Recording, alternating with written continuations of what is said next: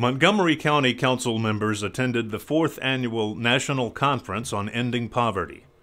The conference was hosted by the organization A Wider Circle and was attended by 750 people.